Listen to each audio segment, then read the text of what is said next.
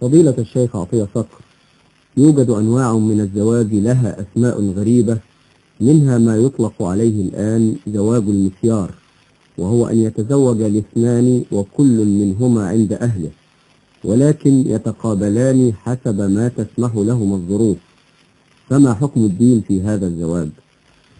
من المعلوم أن الحكم على الشيء فرع عن تصوره وفي تصوره كلام كثير. وإطلاق الاسم عليه يشير إلى أن الذي يلجأ إليه رجل كثير السير كالرحالة القدامى ومنهم ابن بطوطة وهو زواج مؤقت ينتهي عندما يغادر الزوج البلد الذي تزوج منه إما بطلاق وإما بانتهاء المدة المحدودة. وقد تلجأ إليه امرأة لا توجد رغبة قوية في الزواج منها. فيكبر سنها وهنا ترضى بأي زواج بأية صورة حتى لا تعاب بأنها عانس أو غير ذلك. ومثل هذا الزواج لهذه الظروف قد توضع فيه شروط أو تعقد اتفاقات لا توجد في غالب عقود الزواج الذي يقصد منه بناء أسرة مستقرة تؤدي مهمتها في الإنجاب وتربية النسل والعفة عن المحرم وما إلى ذلك.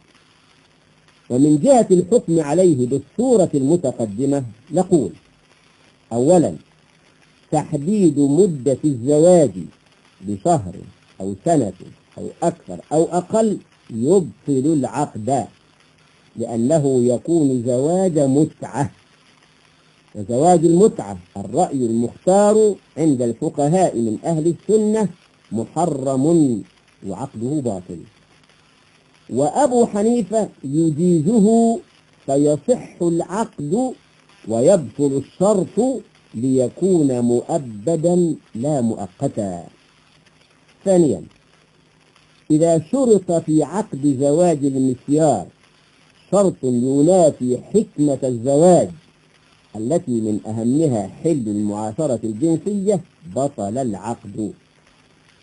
ثالثا إذا كان هناك شرط آخر كما إذا شرط الزوج عدم الإنفاق على الزوجة ووافقت هي عليه أو تنازلت هي عنه فالزواج صحيح.